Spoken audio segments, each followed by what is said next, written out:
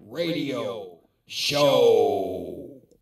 I want to thank everyone for tuning in to the 25th Hour Radio Show. I am your host, Rob Fairless, and on the phone with me today is staff chaplain at Vanderbilt University Medical Center, as well as the lead pastor of 8th Street Missionary Baptist Church in Nashville, Tennessee, the Reverend Dr. Cordell Simpson. Reverend Dr. Simpson, thank you for taking time out of your day to join me on the show. Thank you so much, Rob. Yeah, yeah. You know, I guess the best place to start here uh, would be to give the listeners a little background information about yourself. Uh, how did you first come to know our Lord and Savior, Jesus Christ? Well, it was uh, in uh, 1975. Uh, I accepted Christ as my Savior when a, a brother witnessed to me and asked me where would I go when I died. And uh, I readily said I'd go to hell. Well, he uh, led me to Christ uh, through reading John, the third chapter, and uh, where you must be born again. And after accepting Christ, my whole life changed. Uh, any man that be in Christ, he's a new creature.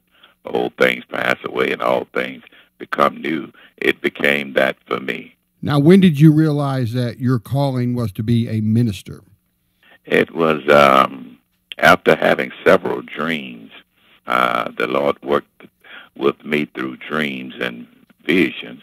I dreamed that I was pastoring and preaching, and I said, No, that's not me. Uh, no one in my family is a pastor. No one's a preacher. And um, I said, that, that, that's not me. And God showed me again in another dream. And this second dream, I was pastoring, and I knew then that that was what he was calling me to do. So I began to pray about it. You know, I do want to backtrack just for a, for a second here and touch on something I think a lot of new believers face, and uh, that's temptation. Uh, you know, the Bible tells us after Jesus was baptized uh, by John, he went into the wilderness and, and faced temptation from Satan. And I, and I see that happening to so many new believers today, you know, giving their life to Christ, and all of a sudden Satan comes out of the woodwork and starts to tempt with perhaps old friends, old habits, you know, addictions, etc. Did you have those same type of struggles as a new believer? I did, and here's what happened. Uh, Satan knows our weaknesses and that's where he will attack us. He will attack every believer through your weaknesses. So if you're weak in any area, you you need to seek to make that uh, one of your strengths because that's where he's coming to attack you from. And he attacked me uh, through uh, not believing that God had called me to do what I'm doing, um, and then to say that I was not worthy to do this, and say that God is not with you. You know, thanks for answering that question because because I think it's so important, especially in the very beginning of someone's relationship with Jesus Christ, that they realize that they will be put to the test. I mean, Satan tested Christ himself. You best believe he'll try to test us. I agree. And the test never ends. He continues to test us uh, until this life is over. You know, I was watching a movie the other day about Billy Graham, uh, and it was about his younger years when he just started in the ministry, and it and it touched on how, in the very beginning, at least, he struggled as an evangelist. He got extremely nervous in front of a crowd of people. He'd forget what he was going to say. You know, basic stage fright. Did you ever go through a stage like that as a as a young minister? Well, Rob, uh, I did, and I still do. uh, when when I stand on Sunday mornings to preach uh, at uh, 8th Street, I'm still nervous. I have prepared the sermon. I know that God has given me that message, but still there's some nervousness there because you never know how it's going to turn out until after it's over. So uh, one old preacher told me, he said, when you stop being nervous, it's time to retire. amen, amen. You know, going over your biography uh, section here on 8th Street Missionary Baptist Church website, uh, I came across a portion that I found extremely interesting, and that's where it states that you've led six missionary journeys to Nigeria. Uh, you know, without asking you to cover all six of those trips, what was those missionary experiences like? I mean, how was your team able to help in your time while you was there? One of the most blessed things that came out of that is that I realize how blessed we are here in the United States. Uh, 70% of the people there in Nigeria uh, make less than a dollar a day. We go and we carry rice uh, to the people in the bush. We carry medicine. And they are so elated uh, to receive those items because if we didn't go uh, back there where they are, no one would get there. And we had the privilege of preaching, Rob, to uh, some villages in the in Adamawa in the Koma Mountains of individuals who had never seen a white person in their life and they had never heard about Jesus Christ. So we were able to lead many to Christ. Uh, Hallelujah. Uh, through that ministry. Yeah, yeah. You know, like I mentioned earlier, you're you're currently a chaplain at Vanderbilt Health, uh, but this yeah. isn't your first time filling the role as a chaplain in the medical field, right? Right, right. I was first um, when I got my uh, doctorate degree. I prayed to God and asked God, uh, "What else could I do?" And God said, "Get some clinical training." He said, "You're going to need some clinical training."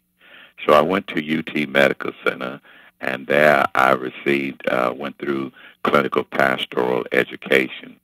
Uh, this is a form of theological education that play, takes place on a, in an academic uh, setting, can be in a classroom, and then it also takes place in a clinical setting, which is in a hospital or healthcare facility, hospice, palliative or psychiatric facility.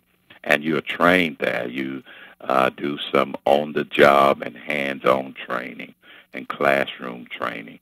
All of this is necessary in order to become a chaplain.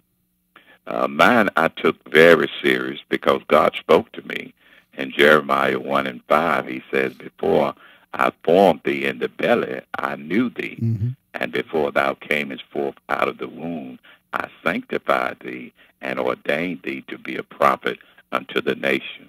I know, Rob, just like I know who I am. I know that being a chaplain, being a pastor, is what God has me on the face of this earth to do. You know, for someone on the outside, uh, like myself, looking in on the role of a chaplain, uh, especially in a hospital setting, it seems like it could be extremely stress filled. I mean, you're in a location where disease, uh, sickness, uh, death occur on a daily basis. It just seems like a role like that uh, could only be filled by a certain type of pastor because of the uh, the circumstances. Am I right or, or wrong on that? I agree 100%. It has to be two things. You first have to have a love for all people because you're going to encounter some of all kind of people in the hospital setting. And then secondly, it has to be a calling. Just it's not a profession, uh, not an occupation for me. It's a calling because when I get up in the morning, I know, and I it's not a chore, but it's a joy because I know I'm going to help someone this day get through uh, their difficult, uh, maybe maybe the most difficult period of their life. So it's a joy. Yeah, yeah. You know, on the flip side of that, though, you also have the added ability to witness the healing power of our Savior uh, to His faithful. Uh, have you been witness to what you might consider to be miracles from working as a chaplain, uh, or even outside of a hospital setting, for all that matters? Well, I have seen it in both places. I've seen it in the hospital because there has been some that we did not think would make it, and now they're living productive and fruitful lives uh, because of the uh, training and uh, the caring of the medical staff for them. Um, I've witnessed many miracles uh, in the heart and vascular units uh, that I work in. Individuals have come through and come out, and uh, I have talked with them and met with them later, even after these uh, and they themselves know that it was a miracle. So tell us about 8th Street Missionary Baptist Church. Let's say you're talking to someone on the street who isn't a member of the church, and they say, Reverend Dr. Simpson, you know, I've really been thinking about finding a church home in Nashville. I just I just haven't been able to nail that church home down yet. What's your what's your church like? Can you explain it to me? Well, our church is a loving church. And what I have taught uh, our people there at 8th Street is that God loves everyone. God wants everyone to be saved. In fact, in First Peter 3 and 9, he, it says, The Lord is not slack concerning his promise, as some men count slackness, but is long suffering to usward, not willing that any should perish, but that all should come to repentance. So God wants everybody saved. God loves all people, regardless of what uh, their economical background, their nationality, uh, regardless of their gender preference. God loves them. And that's the same way that we should be. So at 8th Street, we welcome all people. We're a multicultural uh, church that all people are welcome to come and to worship and to praise God. And we feel that that's the way that God is. God forgives us and God welcomes us and God gives us another chance. Not a second chance, but another chance over and over again. You know, by looking at your website right here, it looks like 8th Street has a ton of different ministry programs. You have a children's ministry, youth ministry, evangelism ministry, and a prison ministry. You know, that's awesome. Are these programs all volunteer for people listening who might be interested in helping uh, in some way at 8th Street? Well, they would be welcome to help in at 8th Street, but some of the prison ministries, they have to go through a certain criteria in order to get into that ministry. Uh, mm-hmm. They would be welcome to come and to uh, join with us in doing that work. They don't have to be a member uh, to do the work. They just have to come and go through the training. Yeah. So, what about the personal side of uh, Cordell Simpson, just Cordell Simpson, not the Reverend Doctor, just Cordell. You have any hobbies or activities that you enjoy outside of your church church duties? I do. I love horseback riding, and um, and I love my family. We uh, go on family vacations together. Uh, my biggest support is my wife and my children, and um, I love spending time with them. Uh, that's therapeutic for me because when we're together, we're laughing and we're talking about things and we're showing appreciation that we have for life. So that's therapeutic for me. So before we wrap things up, do you have any final words for the listeners out there? Anything I might have failed to mention or touch on? You know, anything like that? Well, uh, I would recommend that uh, before anyone goes into chaplaincy, that they uh, pray about it and make sure that that's what God wants them to do. Uh, and it's the same way uh, with uh, pastoring.